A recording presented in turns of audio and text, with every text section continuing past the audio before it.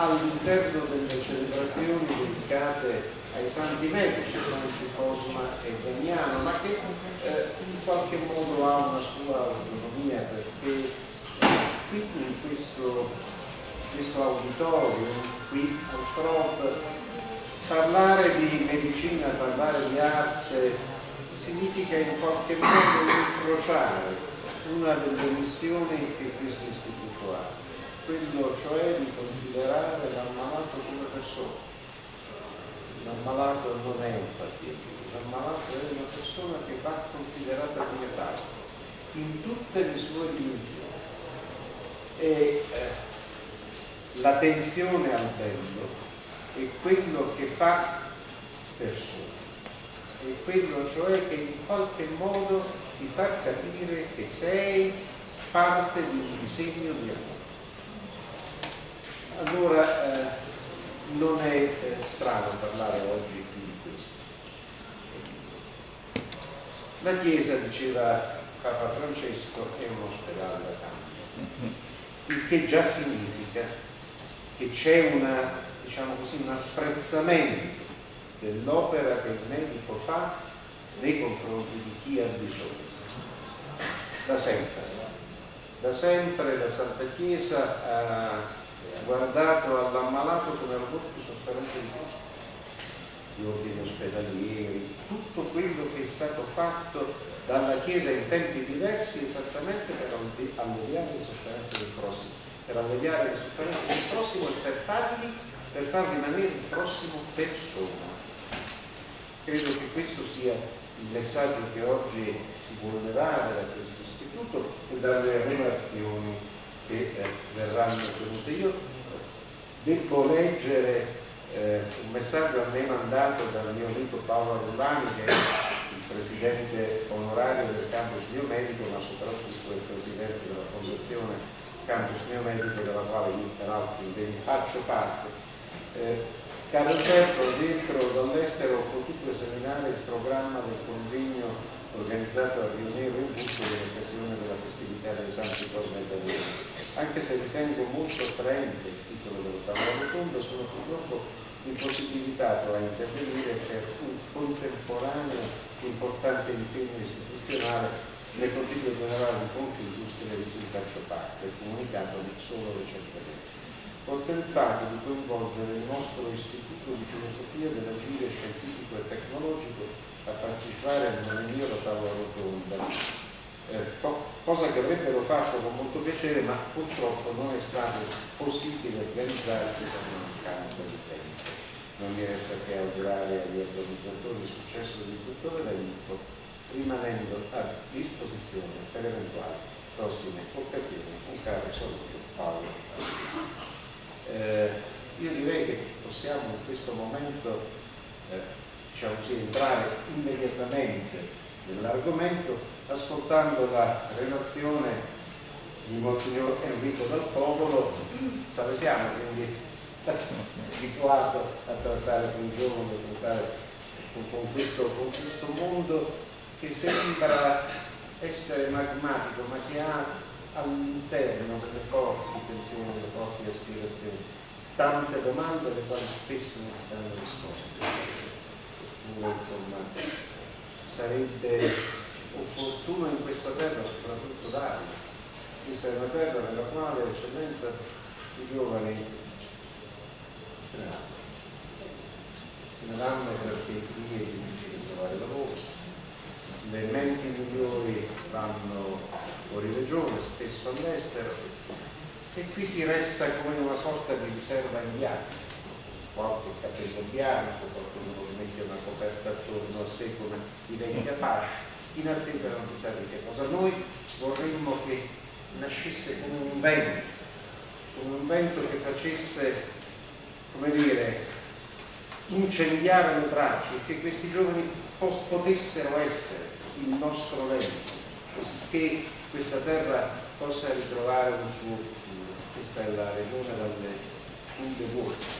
Siamo come eh, demografia sotto e si capisce matrimoni non si celebrano, non si fanno perché poi il lavoro spesso di quando c'è precario e viene dato come, come una sorta di concessione.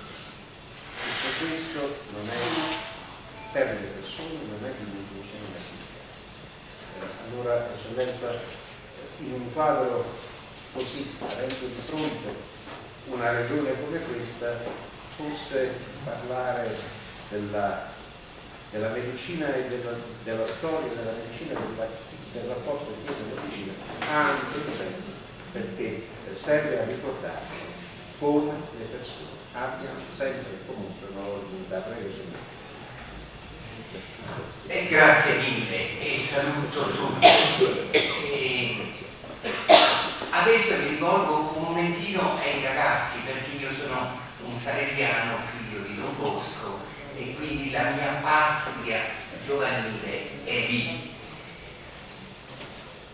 Cari ragazzi, il tema che tratterò è molto tecnico, è difficile, presuppone di per sé una serie di conoscenze che per il momento non potete avere. Allora ho pensato di scrivervi tutto il testo e di darvelo immediatamente in modo che possiate seguire meglio. Hanno già in mano il testo? Ecco, col testo in mano potete, no? Sì, l'avete? Ecco, allora lo distribuiamo, così abbiate questo testo tra le mani o non temete lo troverete un po' lungo, ma io lo scorgerò abbondantemente. L'ho scritto su una pagina e sull'altra, in modo che non possiate utilizzare questi fogli per altri scopi. Ecco, va bene? Così risparmiamo.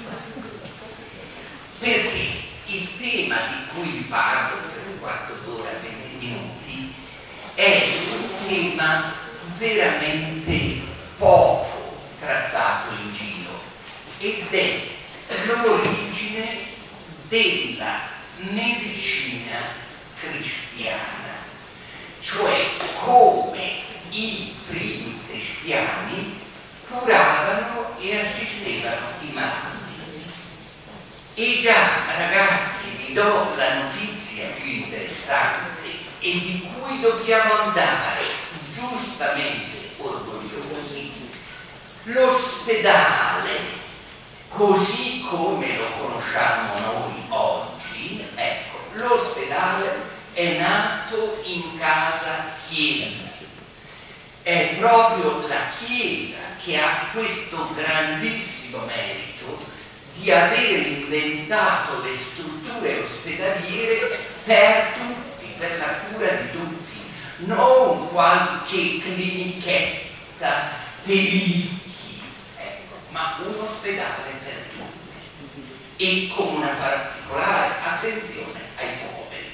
Questa è la specificità eh, della iniziativa cristiana nella cura dei malati. Tra parentesi, ma non c'entra, devo dirvi che un altro grandissimo merito della Chiesa è quello di aver fondato le università. Le universitates studiorum, quelle che frequenterete tra qualche anno, ecco, sono nate anche loro in casa Chiesa. Cioè dobbiamo essere consapevoli dei meriti enormi che ha avuto Chiesa per la promozione dell'umanesimo integrale. A volte sembra che dei tempi che corrono queste cose vengano messe tra parentesi, oppure non vengono dette per umiltà pelosa. No, no, dobbiamo riconoscere il fatto. La Chiesa ha anche le sue colpe, perché la Chiesa è fatta di uomini e non di angeli.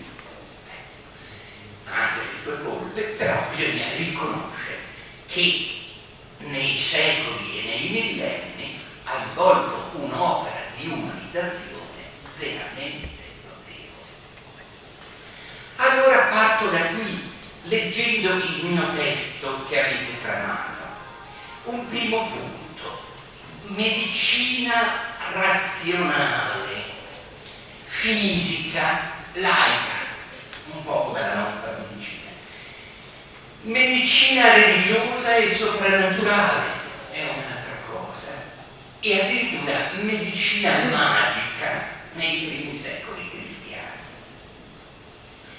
La fede biblica, quella dell'Antico e del Nuovo Testamento, in un Dio unico, personale, creatore e soprattutto padre, dispensa ai suoi figli dolori e gioie, malattie e guarigioni in modo misterioso. Perché Dio? E perché Ma sempre provvidenziale, anche se non sempre riusciamo a cogliere questo filo della provvidenza divina, creò nel cristianesimo primitivo le condizioni favorevoli per una equilibrata convivenza di due sistemi di guarigione complementari e tra loro, talora concorrenti tra loro.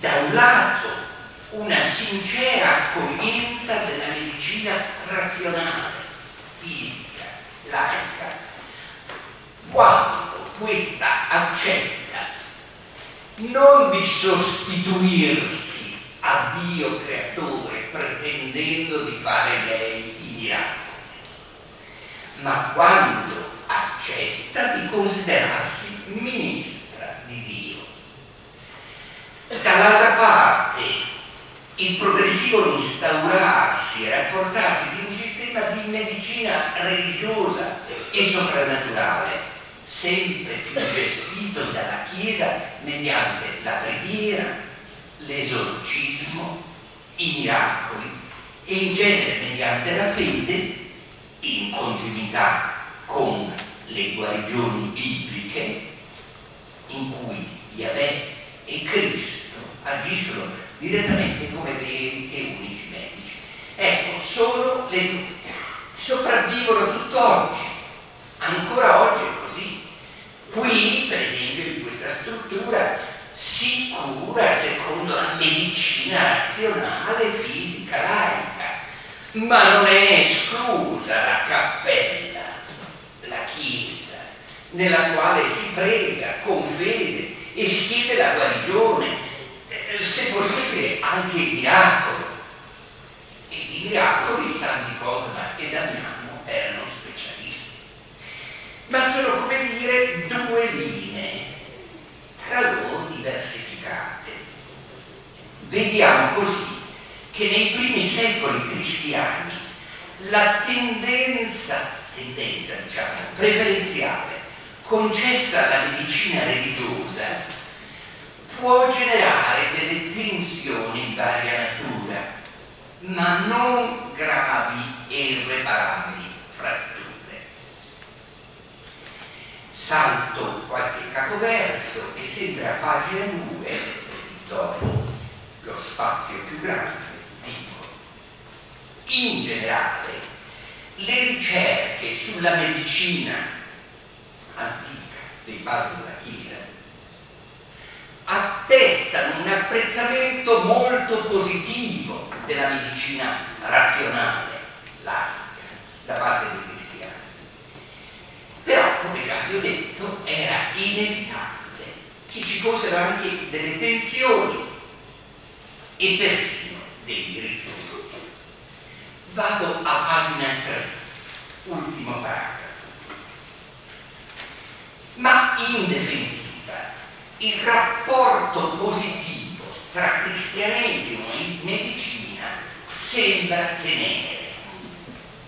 In molti casi le ammonizioni rivolte ai medici e ai pazienti perché si ricordino che solo Dio guarisce si accompagnano a chiare affermazioni sull'importanza e sul valore dell'arte medica. Si può anzi concludere questa prima parte delle nostre riflessioni citando un'iscrizione in versi dedicata al sacerdote e medico Anargyros. Cosa vuol dire? Termine greco che significa che non prendeva denaro, come del resto i santi Cosma e Damiano, chiamati medici anarchici. Beh, oggi sembrerebbe un po' impossibile, o no? Medici che non prendono denaro. Dicono che San Paolo abbia scritto una lettera incompiuta ai dentisti e questa lettera ha una sola parola, carissimi, poi si è fermato. I dentisti sono carissimi.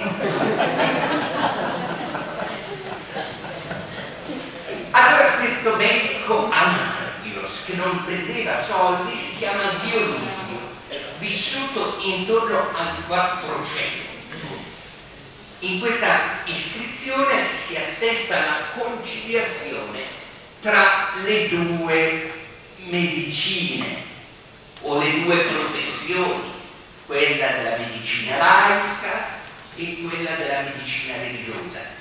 E dice così, l'arte medica deve venerare la fede e il decoro della fede esalta l'arte ecco vedete l'equilibrio raggiunto. Nel paragrafo successivo, che comincia a pagina 4, vi parlo dell'assistenza e della cura dei malati nei primi secoli cristiani, prima in Oriente e poi in Occidente. E anche qui mi limito a poche cose. Andiamo subito a pagina 6. Perché qui alla quinta riga vi parlo dell'episodio più importante dell'antichità in Oriente per la cura dei malati.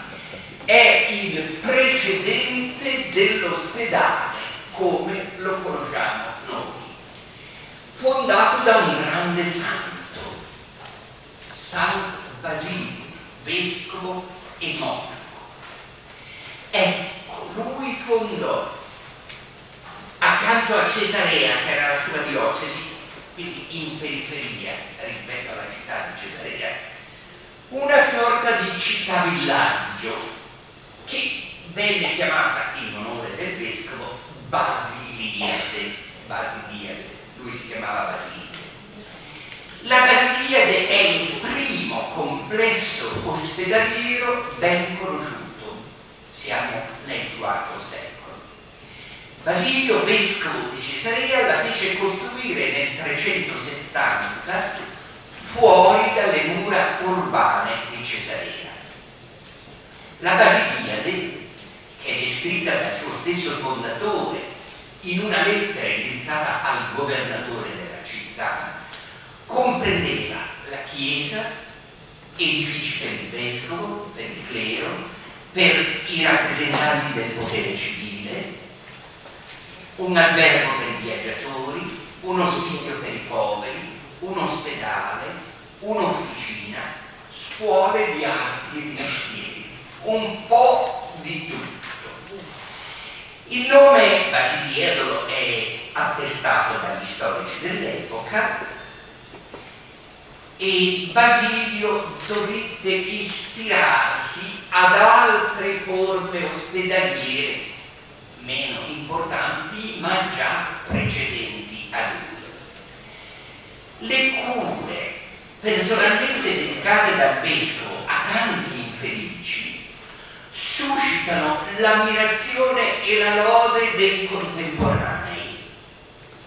Non solo i cattolici, ma anche quelli che oggi chiameremo protestanti e pagani del tutto.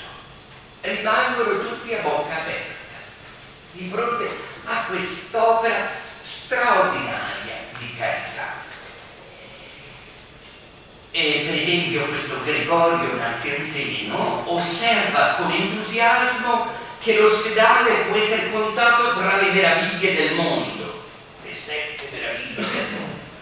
Tanto erano numerosi i malati, tra cui anche i lebbrosi, e i poveri risolti e curati. Questa è proprio la novità. Ospedale per tutti, non solo per i pochi che potevano permettersi un luogo di cura perché erano.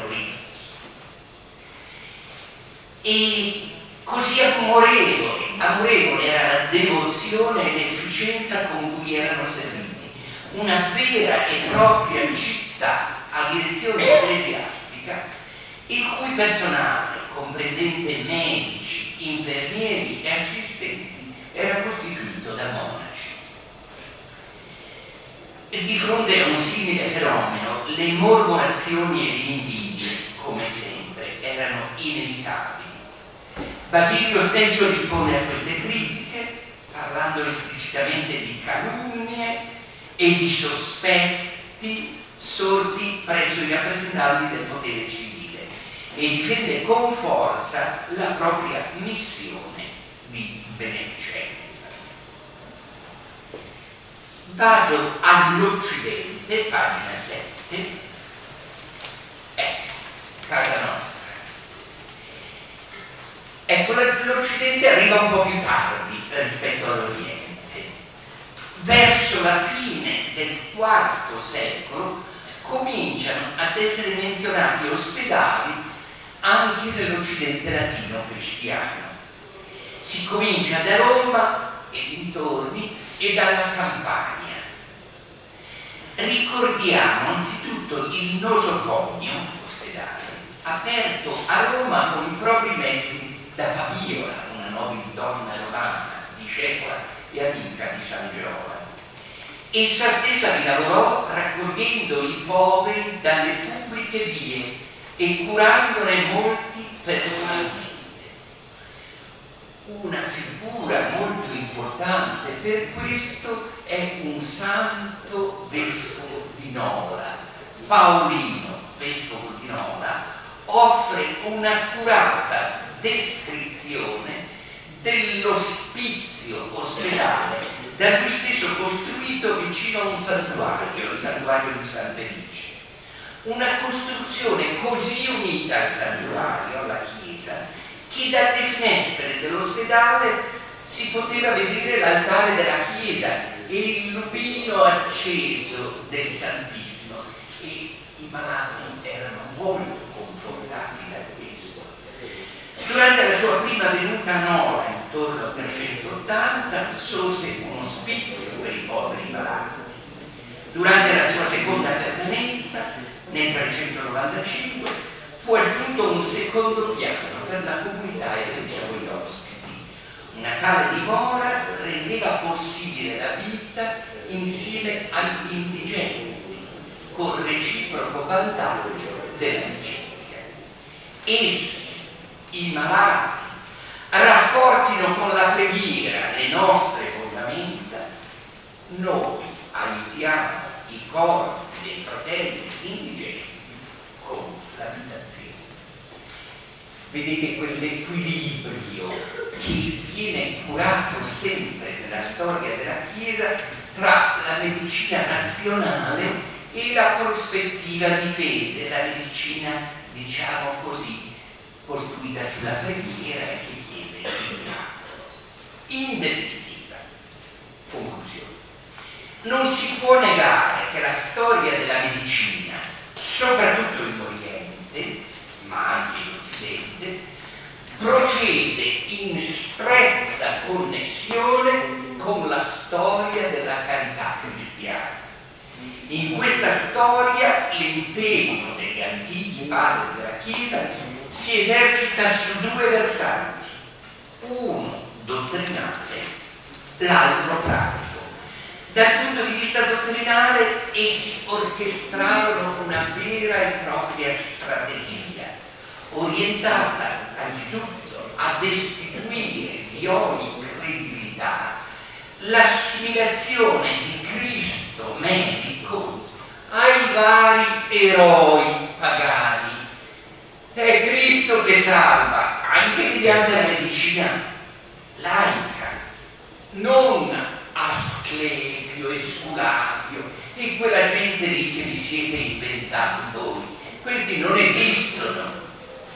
È Gesù Cristo che salva, naturalmente mediante la medicina laica ben gestita. Dal punto di vista pratico, insistendo in modo speciale sul comandamento gemello della carità e sul rapporto inscindibile tra amore di Dio e amore del prossimo, e soprattutto del prossimo più bisognoso, i nostri padri promossero strutture pionieristiche di accoglienza, di ricovero e di cura dei malati e degli anziani. E concludo, cari ragazzi, sono stato bravo. Eh, allora concludo con questo pensiero che vorrei che vi ricordaste. Si snoda così, lungo due millenni, quella storia della carità che dai padri della Chiesa scorre fino ad oggi. Oggi qui, in questo ospedale nel quale ricordiamo i santi Cosma e Damiano. In essa, in questa storia, come scriveva un santo monaco dell'Oriente, Massimo il Confessore, in questa storia la carità va considerata. Senza mai dividerla tra carità verso Dio e carità verso il prossimo, perché questa è un'ipocrisia, è un'ipocrisia. Infatti la carità è unica, tutta intera, è dovuta a Dio, perché Dio è carità, la carità parte da Lui, ma unisce gli uomini gli uni gli altri, tutti gli uomini di ogni razza e nazione e cultura. L'azione della perfetta carità verso Dio e la sua evidente dimostrazione risiedono in una sincera disposizione di volontaria benevolenza nei confronti del prossimo, perché, come dice il divino Apostolo Giovanni, quello che poggiò il capo sul cuore del Maestro nell'ultima cena, colui che non ama il fratello che vede non può amare Dio che non vede. avendo, io credo, come dicevamo all'inizio, al suo centro la valutazione della persona umana. E la cifra, direi da sempre, eh, accentuata in questi ultimi tempi della missione di questo ospedale, che è insostituibile in Basilicata e non Basilicata, viste le relazioni che ha sul territorio. Dunque, il direttore generale oggi assume la veste di relatore eh, eh, vorrei chiederti, ecco, eh, l'ospedale come luogo dove si cura la persona, è possibile serio? O invece è difficile superare questo rapporto quasi mercenario che esiste eh, eh, tra chi presta cura e chi le riceve?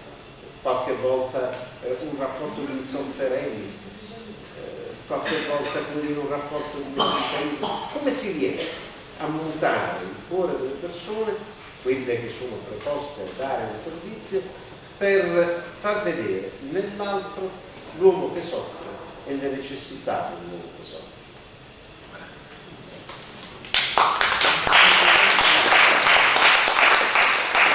Al solito Roberto riesce a mettermi in grande imbarazzo eh, però eh, devo dire, innanzitutto io devo salutare tutti voi, devo dire che sono particolarmente felice di questa comunione che per la festa e nella festa dei Santi Medici si è stabilita tra la parrocchia di Parrocchio di Pietro e l'Istituto Oncologico di Basilicata. E dico Istituto Oncologico di Basilicata, grazie per quello che hai detto ancora Roberto, perché mi sarebbe piaciuto che lo avessi detto anche stasera in sede di. Lo dirò io. Non è il mio ruolo. lo dirò io. Ma sono anche molto onorato della benevolenza di Sua Eccellenza Monsignor Giacopolo. Anche quest'anno ci ha voluto mostrare della sua partecipazione a questo incontro e consentitemi ancora un saluto affettuoso, grande riconoscenza del signor Calucci che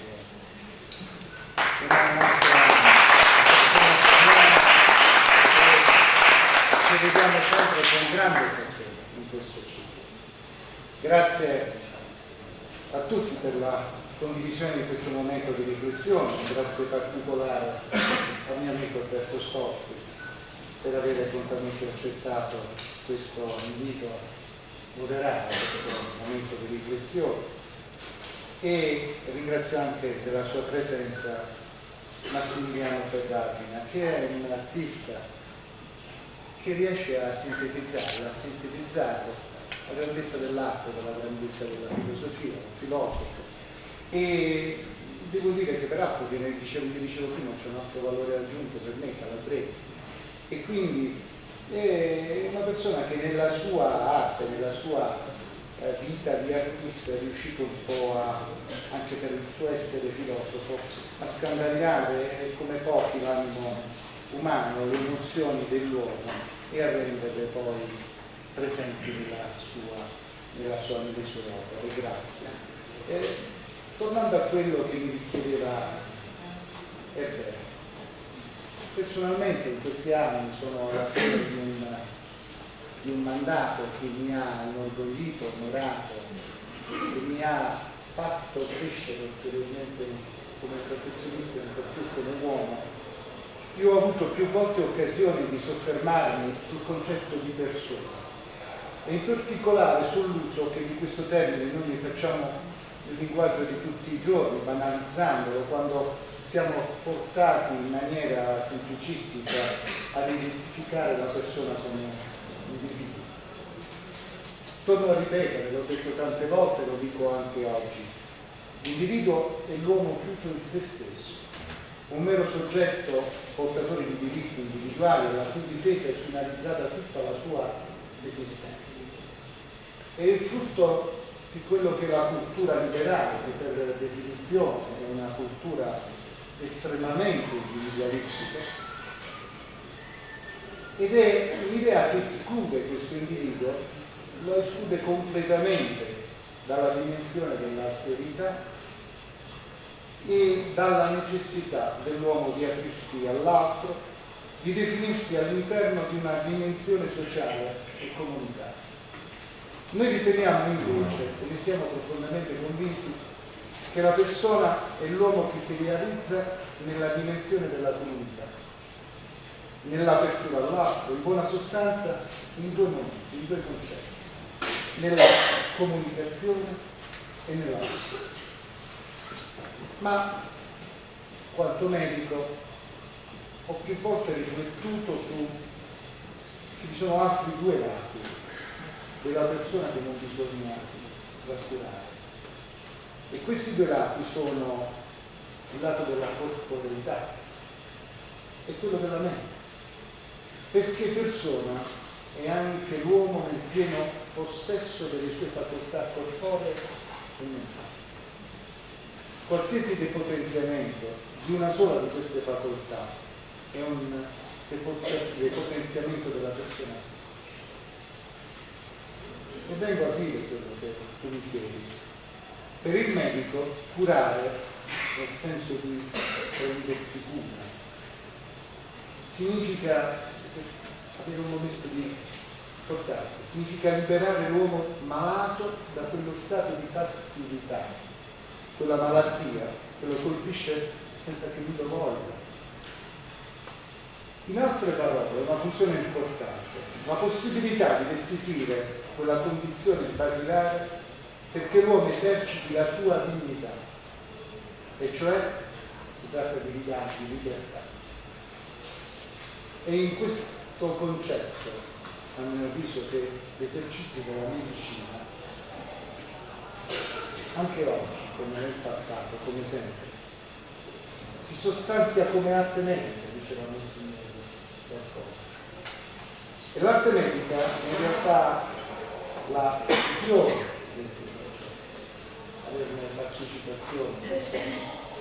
Ed è la stessa condizione che gli artisti sono riusciti, grandi artisti nei secoli, sono riusciti a comunicare nella relazione medico-paziente, cogliendo l'intima essenza dell'etica della vita, che implica da parte del medico una relazione che è asimmetrica con il paziente, cioè proprio la gratuità della sua cura senza la quale questa cura si risolve in mera prestazione. Ecco questi due concetti. La prestazione è un atto che prevede una mercede, ma non c'è la partecipazione, quella che non un medico ragionevole è un medico che sa di non avere davanti un mero oggetto di, da riportare in funzione, da aggiustare, ma un altro, con il suo vissuto, con la sua storia, con le sue emozioni. Aspetti che richiedono necessariamente un'impostazione dialogante e comprensiva della vita, ma anche una dimensione amorevole della cura E quello che ho detto sempre, ho cercato sempre di trasmettere agli operatori del, di questo istituto. E devo dire che questo compito per me non è stato un compito difficile. Colgo oggi l'occasione per ringraziarvi tutti. Roberto, una delle cose che mi fa più piacere quando io, come te, vado per la via principale di Potenza a passeggiare, non è quella di sentire solo siete stati bravi, ma è quello, io ringrazio veramente tutti gli operatori dell'istituto, di sentirmi dire mi hanno accolto con un sorriso, mi hanno rispettato come persone. In questo istituto sarà la magia o sarà la malattia, sarà quello che è ma devo dire che c'è grande attenzione alle persone. Dobbiamo lavorare sempre perché questa attenzione non è venuta nemmeno. Incontri come questo, un rapporto così forte con la, con la parrocchia dei santi medici, ma in realtà con la comunità di, questo, di, questo, di, questa, di questa città,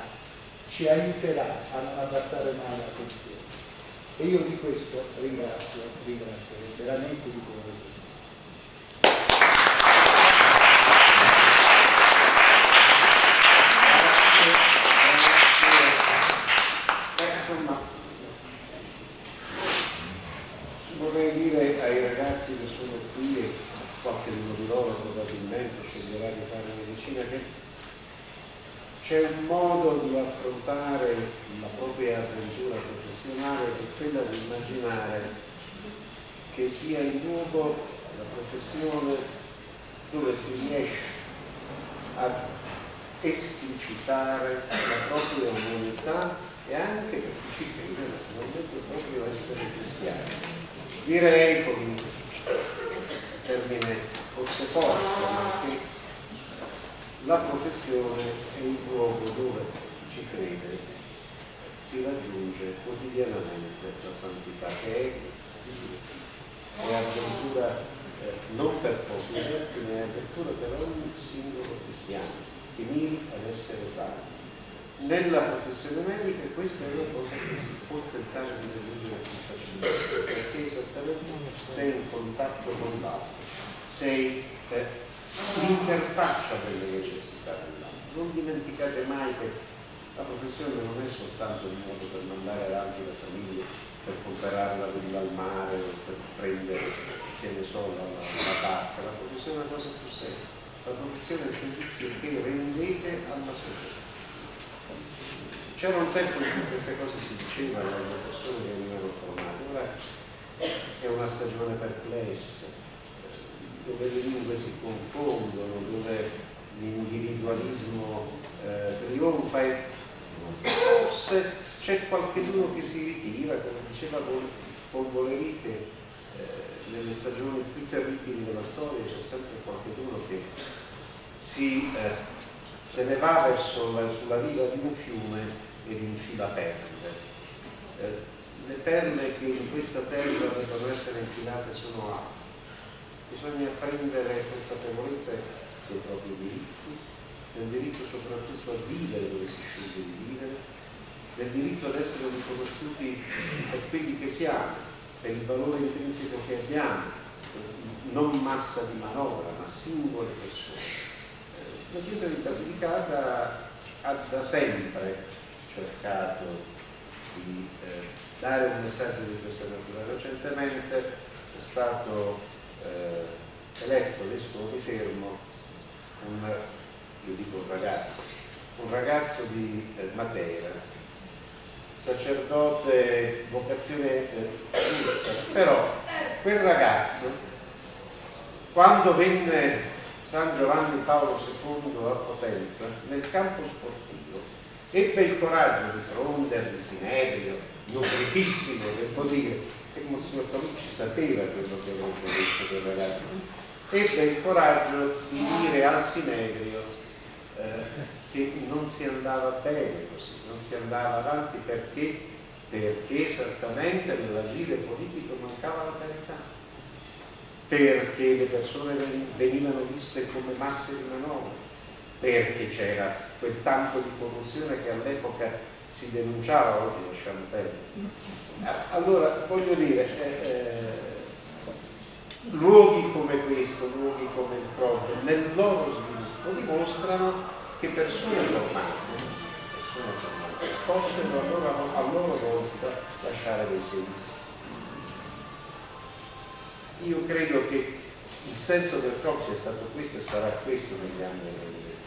Eh, per chi ci crede anche ricordare che, eh, che c'è l'esercizio della carità, l'esercizio della carità che è una cosa estremamente raffinata è una cosa intellettualmente e spiritualmente estremamente raffinata. Io sto parlando senza, senza celare quello che sono, cioè un cristiano, tento, perlomeno quello che tento di essere. Perché? Perché in un momento nel quale certe cose sembrano eh, dover essere dette molto sottovoce, io preferisco invece dirle voce alta, anche per, eh, eh diciamo così, suscitare, se possibile, eh, il confronto, il dibattito anche la contestazione. E il cristianesimo, siccome è l'egilia della bellezza, basti pensare alla liturgia, come è fatta bene, la liturgia è la poesia, il metodo della poesia con il quale si cerca di declinare eh, il nostro rapporto con Dio, beh, insomma, la, la, la Chiesa e l'arte hanno sempre avuto un, rapporto inscindibile, la Chiesa e l'arte e anche in qualche modo la medicina cristianamente organizzata è la Chiesa e l'arte. Il nostro ultimo partecipante a questa tavola rotonda, che è Massimo Ferragina, è, eh, ha recentemente pubblicato un libro intitolato Le beatitudini al confronto. Per, al contrario, chiedo scusa, perché l'arte al servizio della fede dice sempre la verità. Allora, la medicina dice sempre la verità, l'arte, la fede dice sempre la verità, l'arte riesce a cogliere l'uno e l'altro. Cercheremo di vederla. Intanto io mm, rinnovo il mio saluto, il mio benvenuto a tutti voi, vi ringrazio per la vostra presenza. Vi confido che lo stato d'animo mio personale di questo momento è abbastanza piedi perché parlare dopo sua Eccellenza Monsignor Dalcolo, dopo il direttore generale, insomma, ecco, abbastanza impegnativo. Ero più rilassato il giorno della discussione della tesi in Laterano che oggi.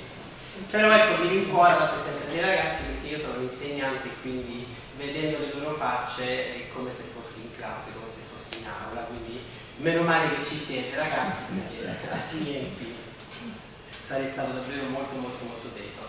Allora, ehm, per cominciare questo nostro tempo insieme a me mh, piacerebbe riprendere un passaggio del, di, di, Papa Benedetto XVI eh, del documento Deus Caritas Est, dove definisce secondo me e, e, in un certo senso sintetizza quello che è stato anche appena detto a proposito del eh, paziente inteso come persona nella sua totalità Papa Benedetto XVI dice che l'uomo diventa veramente se stesso quando corpo e anima si ritrovano in intima unità, non separati. Quando si cura, si cura il corpo, si cura anche l'anima. Se l'uomo ambisce ad essere solamente spirito e vuole rifiutare la carne come un'eredità soltanto animalesca, allora spirito e carne perdono la loro dignità. E se dall'altra parte egli rinnega lo spirito e quindi considera la materia, il corpo come realtà esclusiva, perde ugualmente la sua realtà. Ed è proprio qui che vorrei inserire tra le righe di questo bellissimo passaggio un po' la mia riflessione insieme a voi oggi. Siete stanchi? No, ecco, io ho scritto solo 18 pagine. State sereni, noi leggerò tutto. Faremo anche, eh, utilizzeremo anche le immagini. Ehm, medicina, ospedale, l'immediatezza, l'immagine che immediatamente ci viene in mente è il dolore. Oggi il dolore è una parola scandalosa, nessuno più parla di dolore, mi rivolgo anche ai ragazzi. Parlare di dolore, dire che si sta male è abbastanza eh, da nascondere, viviamo nella società di tutti eternamente sani, belli, splendenti. Io non so se voi usate, sicuramente userete i social network, conoscete Instagram. Potete rispondere ragazzi, conoscete Instagram, sì, Facebook, ecco su questi social noi possiamo immagini, mettiamo immagini però sempre eh, al massimo delle nostre possibilità. Siamo sempre, eh, quello che emerge dai social, siamo permanentemente in vacanza, siamo permanentemente ai ristoranti, siamo sempre belli, vestiti in questo punto, raramente si riesce a cogliere attraverso i social network, che poi è il luogo dove i ragazzi dicono la verità dell'essere umano che anche la sua fragilità. Sembra quasi che oggi in una società egoista dove la felicità è da rincorrere costi e il dolore da nascondere, quindi anche il malato si deve vergognare del suo essere malato, sembra quasi che eh, l'uomo abbia perso l'idea di essere fragile, fragile e di passaggio. L'arte, diciamo che nella sua storia, da quando l'uomo è apparso praticamente, spesso la vetrina dove il dolore viene mediato e si è fatta solamente carico di questa esperienza, il dolore è stato scolpito, è stato dipinto, è stato anche in un certo qual modo celebrato dall'arte stessa. A volte l'arte ha subito un po' il dolore come eh, qualcosa di da nascondere, altre volte invece l'ha eh, giustamente inquadrato come qualcosa che appartiene all'essere umano. Dunque questo mio brevissimo viaggio nell'arte non per tagliare nessun traguardo, ma non, non, perché le opere che ho selezionato siano altamente esaustive, eh, vuole soltanto ecco, concentrare l'attenzione su questa verità che appartiene a noi a tutti. Ecco, la questione del dolore della malattia che accettata va vissuta, fa parte del nostro esistere, del nostro vivere. Il primo quadro ce lo dice chiaro. La prima immagine che ho scelto è un capolavoro assoluto, non tanto per la costruzione, perché comunque è un'immagine abbastanza classica, abbastanza eh, intuibile, facilmente eh, riconoscibile nella sua, eh, nel suo messaggio, cioè una persona malata, un sofferente, una donna probabilmente con il medico da una parte e uno solo dall'altra con in braccio, quindi la lettura è molto semplice, però quello che mi preme farvi ehm, notare è l'artista, perché mh, è difficile capire chi è, perché noi abbiamo un'idea di questo artista diversa. L'artista è Pablo Picasso, prima maniera. Noi siamo abituati a vedere Picasso eh, con le sue figure divise, squarciate, no? l'opera più, più, famosa è La bambina con la bambola, dove non si capisce che la bambina che la bambola perché c'è un occhio in testa un ginocchio, quindi è una figura no, abbastanza scomposta, ma quello è proprio perché Picasso intuisce che la persona umana da lì a vent'anni, la guerra e il dopoguerra sarebbe stata divisa frantumata, squarciata, tagliata a pezzi e quindi è stato profeta del suo tempo. Invece qui siamo ancora in un momento in cui Picasso utilizza un linguaggio artistico molto molto classico. L'opera si intitola Scienza e Carità, è un'opera del 1897 e si può ammirare a Barcellona nel Museo di Picasso. Interessante, dicevamo prima, lo spazio molto ristretto, limitato a un angolo della stanza e soprattutto lo spazio completamente occupato dal letto quale, sul quale giace appunto la malata che si intuisce è di una gioventù ormai quasi cancellata stessa malattia. La luce da sinistra, illumina un ambiente povero, sobrio ma dignitoso, nel quale si va consumando lentamente la vita. È molto bello sottolineare la figura del medico. Il medico è autorevole, accigliato, con una mano sente il polso e con l'altro pone la fiducia nello strumento. Il medico un tempo entrava nelle case, io vengo da un piccolo paese della Calabria, questa cosa la ricordo. Eh, il medico era conosciuto per nome, forse due ce n'erano per paesi medici, eh. e conosceva anche i pazienti per nome e per cognome, conosceva la famiglia, entrava nelle case era quasi una famiglia, quindi, eh, ed era anche eh, in certi versi temuto di nemico e qualcosa la accettava la realtà, che non erano proprio San come Damiano. Comunque la figura del medico qui è eh, assolutamente scientifica, osserva lo strumento più che dare conforto al conforto ci pensa la figura della suora che porge questa medicina quasi inutile perché il paziente è quasi, eh, sta quasi per raggiungere miglior vita. C'è un elemento che vi voglio, far, che voglio farvi notare che è, stona un po' con tutto il contesto. C'è una casa povera, una finestra chiusa, quasi la luce tra poco sparirà perché l'ombra scenderà, la morte di questo è imminente, però c'è un elemento che stona un po' con l'arredo, con il contesto. Lo notate? Mm? Il quadro?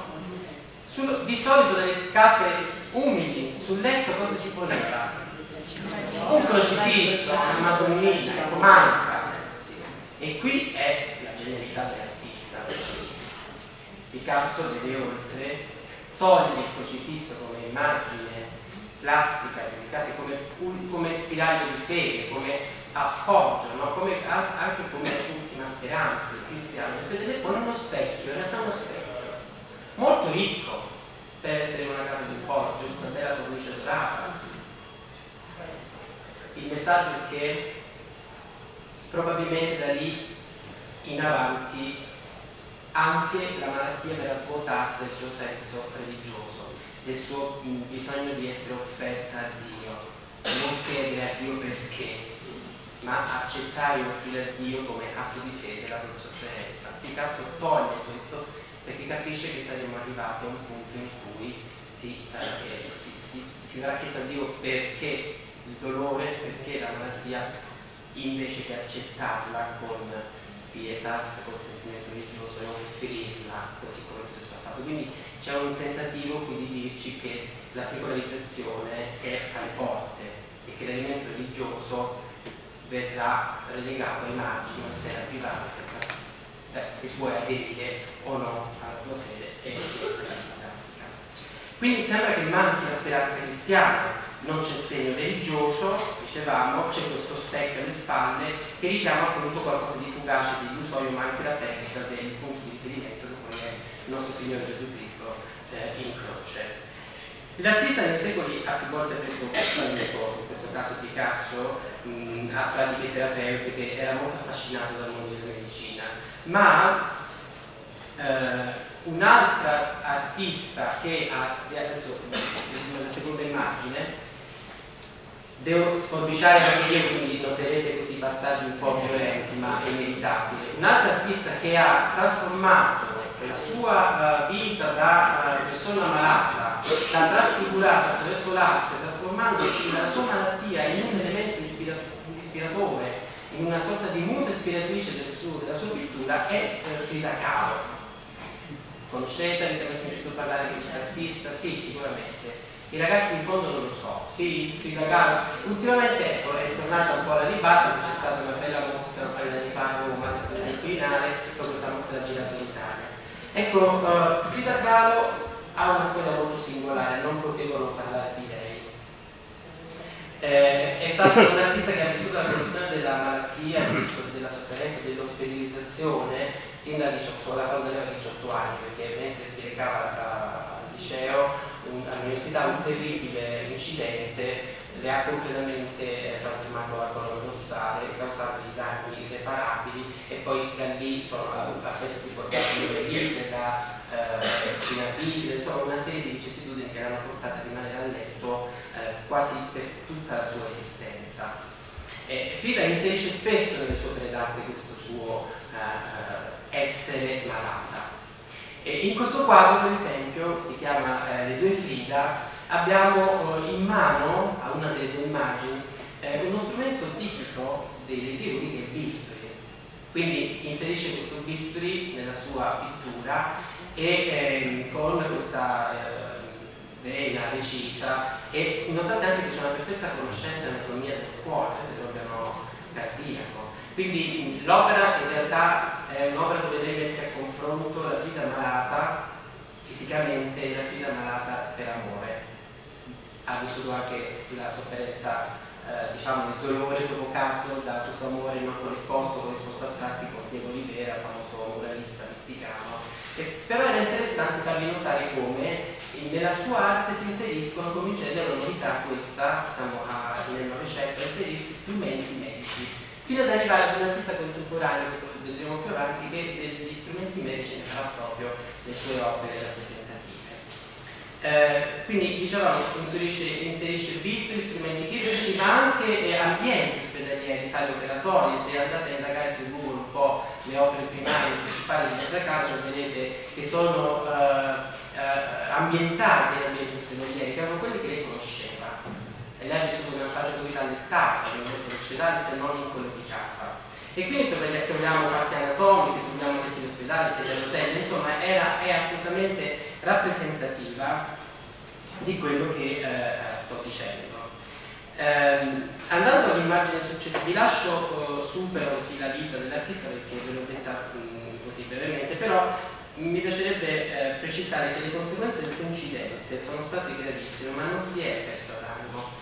Notate questa foto, lei è nel suo letto, pettinata, vestita bene, il suo copricapo tipico degli abiti eh, messicani, eh, truccata, con stile degli altini, c'è questa sua accettazione della malattia che la spinge a viverla e a viverla con dignità. Tant'è vero che il busto di gesso che indossa è stato decorato da lei, è stato dipinto rappresentati, io ho avuto la fortuna di vederlo che è stato esposto in questa mostra del studio del Quinale, questo gusto di gesso. È inquietante da un lato, perché sono cose che magari possono spaventare, ma dall'altro è, rincuorante, perché qui troviamo proprio la dignità nella figlia del suo essere malata, ma anche del suo essere giovane ragazza bisognosa di vita, di essere amata. Uh, per dire un po' le cose come, come stanno, le conseguenze degli incidenti Zagalo furono gravissime. La colonna vertebrale si spezzò in tre punti, si frantumò il collo del femore e le costole, la gamba sinistra riportò 11 fratture, il piede destro rimase slogato e schiacciato, la spalla sinistra restò russata e il suo pellico spezzato in tre punti. Una grande sofferenza che lei ha portato tutta la vita era quello di sentirsi un mostro perché dopo l'incidente una malformazione alle ossa eh, del bacino e anche all'utero hanno fatto in modo che ogni volta che eh, ogni tentativo di portare al mondo un figlio finiva in un aborto perché lei, stessa dice nei suoi diari io li genero li uccido perché, eh, io non sono esperto, però mh, arrivando a un certo tempo la ragazza veniva soffocata dal suo stesso utero che aveva generato. Quindi insomma una grande sofferenza eppure se guardate la foto sarebbe, sarebbe da, da cadere una depressione cronica con tutti questi infortuni, eppure Gida, se, se andate a indagare la sua vita, è stata molto attiva, faceva parte del movimento messicano per la liberazione dalle dittature, e spesso oh, diciamo, sfidava gli uomini, eh, eh, seppure vestita da uomo, quindi una, una, forza interiore nonostante la sua condizione di malattia davvero impressionante. Nessuna come lei è riuscita a rappresentare nel Novecento non solo il livello di cure che offrivano gli ospedali, in Sud America, in Centro America e anche negli Stati Uniti, ma soprattutto lo stato d'animo dell'ammalato, che se da un lato confidava nella medicina e nelle strutture mediche, dall'altro si sentiva capia, parte di un esperimento. Prima il direttore ha detto no, il medico non cura, eh, appunti per citare le parole testuali, il, il malato non è un oggetto da aggiustare, Ecco, Frida questa cosa l'ha vissuta, spesso si è sentita un oggetto da aggiustare, perché mancava quella parte, quello slancio da parte del medico umano che la faceva sentire una persona malata, non semplicemente un malato. Ehm, c'è un'altra immagine importante dove quello che sto dicendo viene raffigurato. Si sentiva un oggetto vivente, priva di volontà, sotto l'attenzione e lo studio dei suoi medici in questa immagine drammatica c'è un piatto muto, lo sguardo ci fissa e ci interroga, è pieno di lacrime, e appare una donna immobile, seria, su questo paesaggio di sfondo desertico, dove eh, un cielo plumbeo quasi eh, che da brutto presagio fa, fa proprio sfondo. Il corpo della giovane donna è lesionato, squarciato, si intuisce, il corpo è proprio come un terremoto, squarciato e la colonna vertebrale appare frantumata. Lei eh, si ispira alla corrente artistica del surrealismo, dell'iperrealismo e quindi la colonna vertebrale viene interpretata come una colonna di un tempio. In realtà se andiamo a indagare il, il corpo è un tempio. In questo caso il tempio è stato appunto eh, rovinato, frantumato dalla malattia. Il corpo della giovane donna qui, che poi è un autoritratto, è squarciato e possiamo vedere che questa colonna ionica rotta in più punti. La frammentaria e inquietante struttura evoca la spina dorsale, ovviamente, che l'artista messicana si frantumò, come vi ho detto prima, in più punti. Proprio a causa di questo terribile avvenimento, lei ebbe 32 eh, operazioni chirurgiche e um, Frida trovò nell'arte lo sfogo alla sopportazione di questa tremenda, di questo tremendo destino.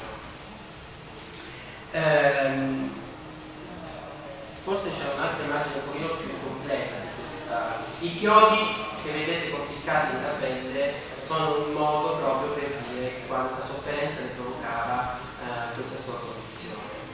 Eh, il ritratto di Frida qui mostra l'adesione della pittrice appunto alla corrente surrealista e, mm, e ricoprono il corpo quindi questi numerosi chiodi che sono proprio la visione del dolore della solitudine patita dall'artista e sembra quasi riprendere l'iconografia cristiana del martire, del martire alla colonna, fustigato. No? Io vedevo questa immagine con questi inchiodi, mi viene in mente il martirio di San Sebastiano. Quindi c'è un richiamo, è inevitabile, anche se Frida non ha mai diciamo, dichiaratamente espresso la sua appartenenza a una fede, a una fede tantomeno a quella cristiana, in un certo qual modo la sofferenza accomuna, vuoi o non vuoi, al Cristo, alla sofferenza, cioè Gesù Cristo, Cristo è l'archetipo di tutti coloro che vivono una condizione di malattia indipendentemente dall'appartenenza di fede. E qui lo vediamo, anche il lenzuolo bianco, no? che può una, una deposizione della croce in cui il corpo morto rapporto. Quindi i, i riferimenti all'iconografia cristiana, voluti o non voluti, sono tanti. Ma in questo dipinto la cosa che preme farvi notare, soprattutto ai ragazzi, è che il dolore qui non è esibito, il dolore muto, non c'è una tragedia, non si sta strappando i capelli, è un dolore muto, serrato nel petto, ma ugualmente il messaggio è un dolore forte e lacinante. Eh, prima di morire, Frida Kahlo subisce un'ulteriore ferita che è l'amputazione della gamba destra e ehm, poi morì a 47 anni nel 1954 e le sue ultime parole sono state queste. Spero che la fine sia gioiosa e spero di non tornare mai più la lotta tra la voglia di vivere e la voglia di non vivere, che è la lotta perenne di qualsiasi persona che vive una condizione di malattia grave, come in questo caso. Allora, io ovviamente ho tagliato moltissimo, non, non credo di essere stato esaustivo, ma ho lanciato degli input. Spero di aver lasciato la curiosità di approfondire questa artista, c'è tanta letteratura, c'è eh, tante immagini che si possono eventualmente leggere eh, online, c'è veramente la che vi abbia dato la, la, la, spinta motivazionale a fare da voi una ricerca un po' più approfondita. Quello che mi preme passare a uh, un altro um, mondo dell'arte che è quello dell'arte contemporanea del mio proprio.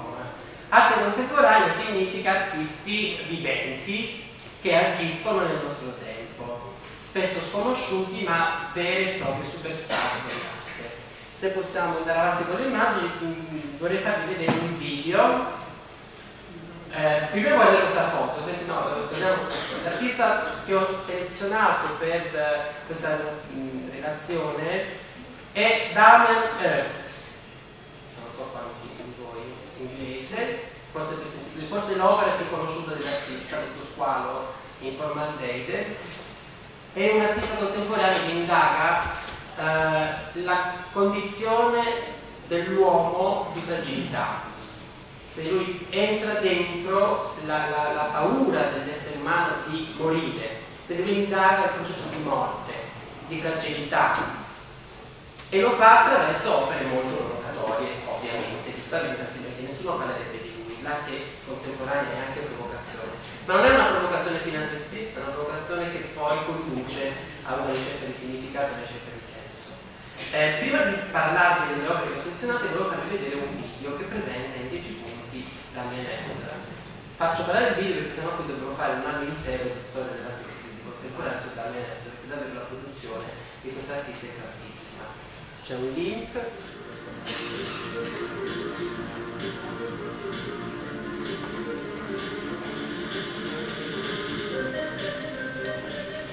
Damien Hirst, nato a Bristol nel 1965, è tra i più celebri artisti britannici contemporanei. È esponente di spicco degli Young British Artists, gruppo di visual artists affermatisi negli anni 90 per i contenuti controversi e coinvolgenti La ricerca artistica di Hirst è incentrata sul tema della morte, nelle sue opere diventa crudo spettacolo che spaventa, indigna, fa scalpore e invita a riflettere sulla caducità del corpo. Una delle sue opere più note, For the Lord è un testo umano ricoperto di diamanti. Le opere di Daniel Hirst hanno spesso per oggetto animali imbalsamati, in alcuni casi sezionati, conservati in forma. Tra queste la sua opera più nota è The Physical Impossibility of Death in the Mind of Someone Living, che, venduta nel 2004, ha reso tra gli artisti viventi più cari al mondo. L'opera consiste in uno squalo tigre di oltre 4 metri, posto in forma legge dentro una vetrina. Pare che Hirst abbia acquistato l'animale da un pescatore australiano, facendoselo recapitare direttamente a casa. Le opere di Hirst sono spesso contestate dai movimenti animalisti, tanto che molte delle sue esibizioni sono accompagnate da manifestazioni di protesta, accusando l'artista di usare gli animali come oggetti di spettacolo, in una visione antropocentrica della vita. Inoltre non perdonano l'opera In and Out of Love per creare la quale l'artista ha sacrificato una bevita farfalla. Altro tema ricorrente nelle opere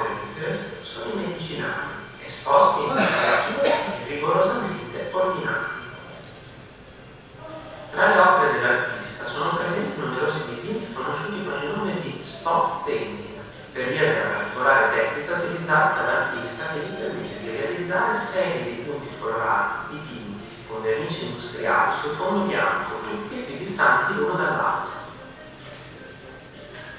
Le sue mostre sono considerate degli eventi sia per l'eco della stampa che per la presenza di celebrità.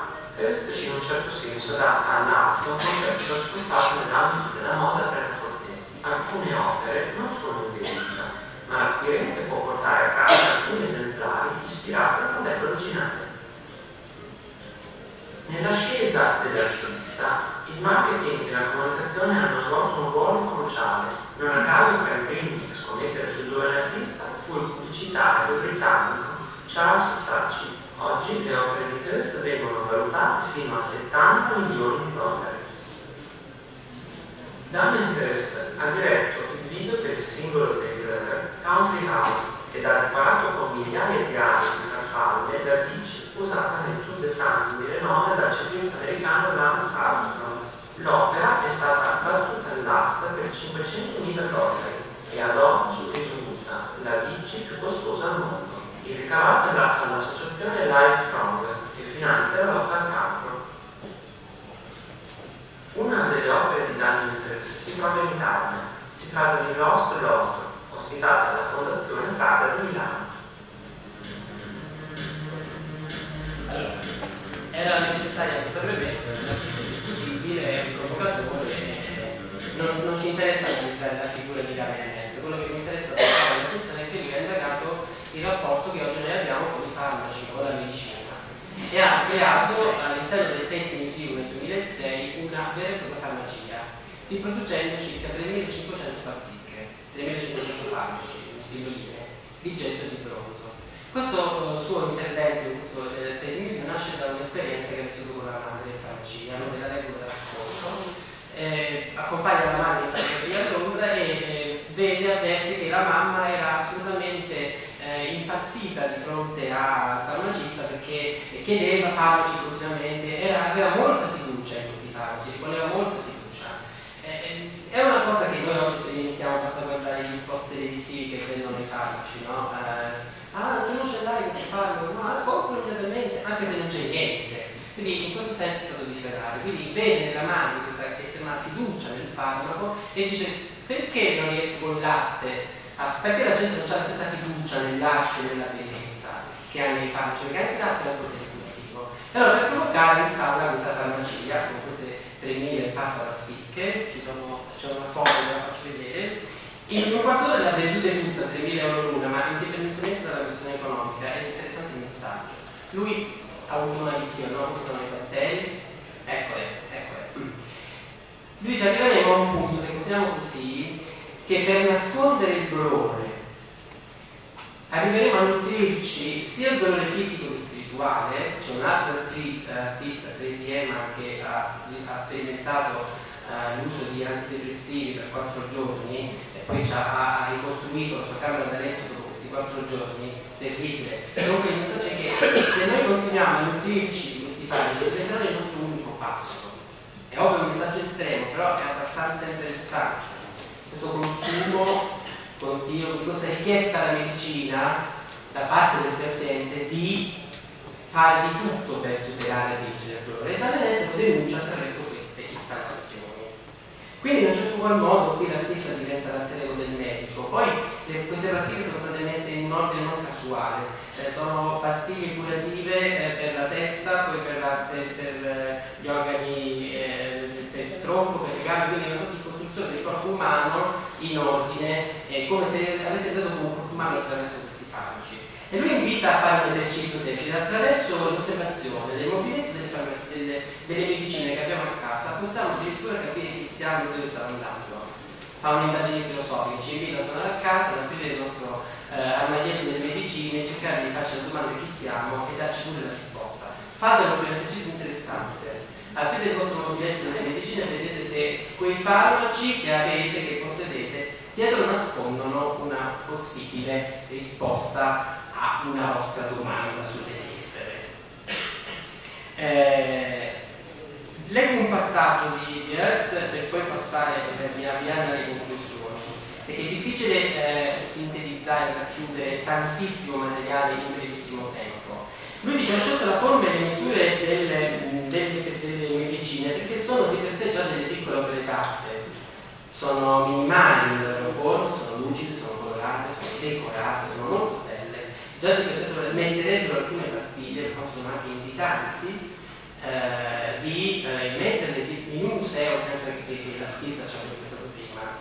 Eh, però c'è il rischio appunto che sia soltanto un'illusione quella di poter curarsi attraverso semplicemente la, la, la, la medicina razionale o la farmacina. C'è bisogno anche di appropriarsi di quella dimensione spirituale perché altrimenti si diventa semplicemente vittime di un mercato, di un consumo che eh, appunto non aiuta nessuno.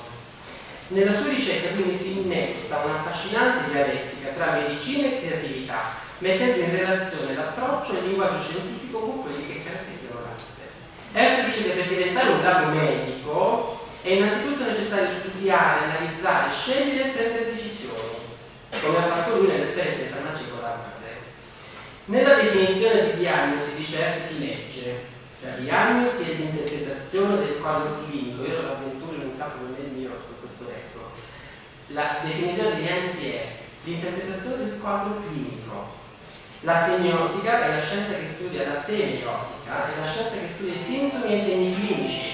Avere l'occhio clinico vuol dire avere l'acutezza del giudizio ed essere perspicace nel formulare una diagnosi rapida ed esatta. Eppure questo è un fenomeno occasionale?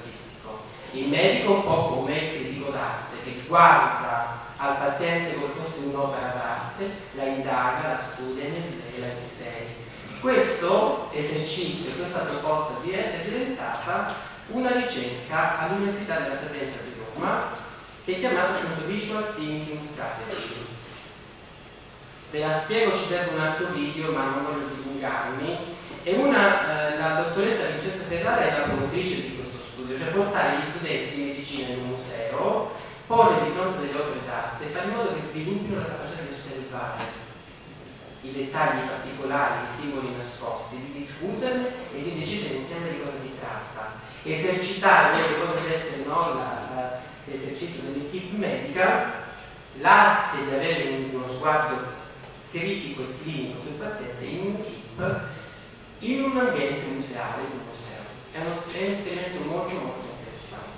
È una nuova frontiera della medicina che utilizza l'arte come strumento appunto per sviluppare la capacità di arrivare poi in ospedale di fronte a un paziente e guardare veramente al paziente come un'opera d'arte, da studiare, da indagare, da assimilare.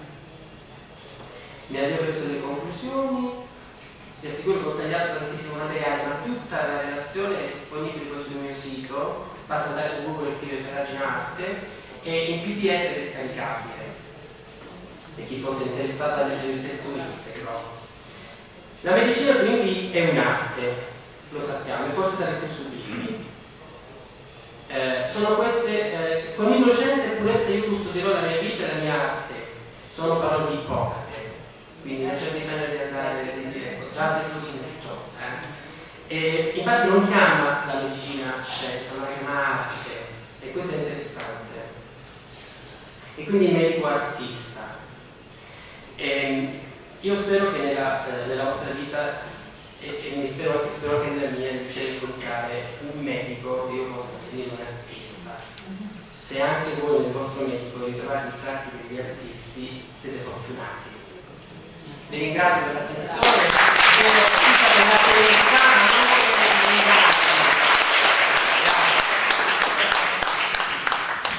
Bene, allora abbiamo finito, finito anche rapidamente, ma le cose che stanno rapidamente sono le migliori.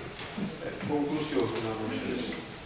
Forse l'armadietto dei medicinali che ognuno di noi ha non è il segno di chi siamo, o di che cosa siamo, ma il segno delle nostre paure. E allora eh, io credo, credo, che forse eh, il senso di questa giornata sia, sia questo.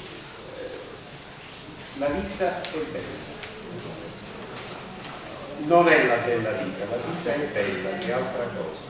E va vissuta fino in fondo, accettandone tutti i risvolti cui buono e cattivo, soprattutto eh, lavorando perché in questa nostra stagione perplessa si operi quello che eh, Gramsci un tempo definiva il mutamento del senso comune. In qualche modo ci sono riusciti. Eh, a noi tocca di fare un'operazione identica e inversa, cioè ricostruire un senso comune che abbia al suo centro esattamente la persona e i suoi valori, la relazione tra le persone, eh, il lavoro per una società che sappia riconoscere il bello, che cerchi il bello, perché quando abbiamo la consapevolezza della nozione del bello, probabilmente riusciamo anche a fare argine contro chi la nostra vita vuole invertire. Poi poi c'è il dolore, il dolore è il mistero che segna la nostra esistenza, che c'è è inutile cercarci, cercare le ragioni, perché avremmo eh, alle volte delle risposte di maniera, alle volte degli imbarazzi. Il dolore è connaturato alla nostra umanità, è parte della nostra umanità. Lo sapremo accettare se non viviamo secondo una logica che è quella predominante, cioè l'uomo vale se è bello, se è giovane, eh, se fai la religione, il fisico e poi gli altri, gli altri quelli che magari sono diventati quindi sono scatti, vanno nascosti c'è una paura eh, in giro di non rassomigliare ai modelli che ci propone la pubblicità che ci propone questo tipo di società per cui finiamo per diventare degli egoisti e allora eh, la vita è bella quando ci si fa carico di noi stessi e degli altri. Quindi questo abbiamo detto.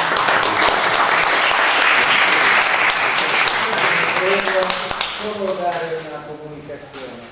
Entrando avete visto una panchina rossa.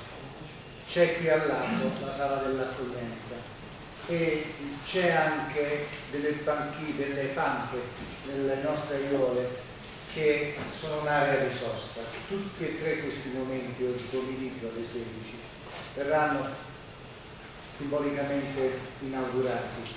Chiederei alla benevolenza di Monsignor Del Corpo e di Monsignor Talucci se hanno la possibilità di benedirli perché fanno parte di un percorso che abbiamo avviato non da soli, ma con le scuole, con tante persone, con la comunità di Rio Nero sulla umanizzazione delle cure. Hanno un loro valore simbolico, piccola cosa. La sala dell'accoglienza, non abbiamo speso una lira per queste, per queste opere. Eh, la sala dell'accoglienza è rivolta ai familiari dei nostri ammalati perché abbiamo capito che loro spesso soffrono ancora di più degli ammalati. Loro sono depositari molte volte di notizie che vengono nascoste, anche brutte, alle persone ammalate e allora abbiamo voluto rivolgerci creando una zona di, eh, di ospedalizzata eh, dove ci sono i disegni della, della scuola dove hanno veramente alliedato con la loro arte questi ragazzi grazie per ringraziare a tutti oggi pomeriggio dove c'è la possibilità di farsi una doccia di consumare un po' di tempo eh, diciamo forse un po' dimenticando se arriviamo quello che è l'amarezza di questa presenza e allo stesso modo fuori con una bolletta che è stata fatta tra cittadini e operatori del, del PRO sono state realizzate delle, delle panche dove nelle belle giornate i familiari e gli ammalati potranno anche consumare un panchino, poca roba e la panchina rossa vuole significare oltre che l'adesione al progetto contro la violenza della donna, abbiamo visto qui dentro, lo rivedo ancora oggi, abbiamo visto che forse la malattia che è brutta per tutti, quando colpisce la donna è ancora più brutta, perché la donna è quella che non tiene la.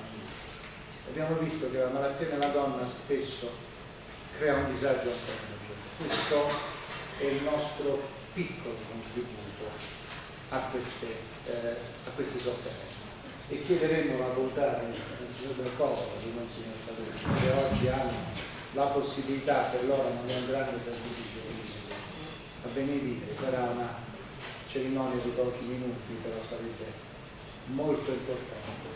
La vostra patria informazione. Vi aspetto. può essere presente alla manifestazione di questo pomeriggio l'amministrazione comunale, che spesso è già impegnata in un consiglio comunale così l'amministrazione comunale della persona del vice sindaco vorrebbe dare soldi. Prego. Sì, solo per esprimere gratitudine piena alla parrocchia Santissima Annunziata per uh, questi momenti di uh, gradevole, lodevole ed autorevole riflessione che ogni anno uh, propone alla città. Lieta di patrocinare queste iniziative.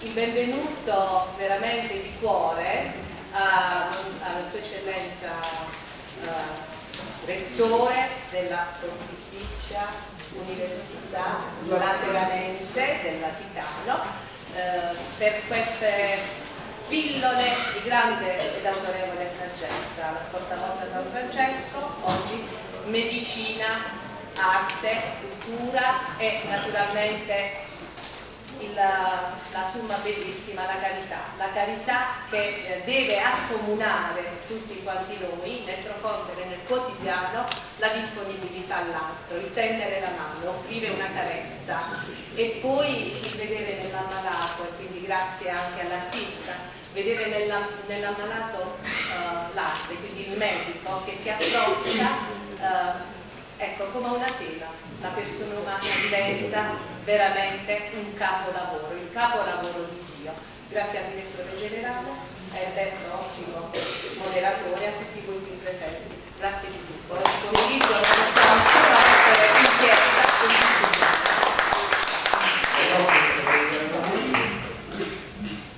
La mia non è una pillola che costa 3.000 euro, ma la devo dare è una sintesi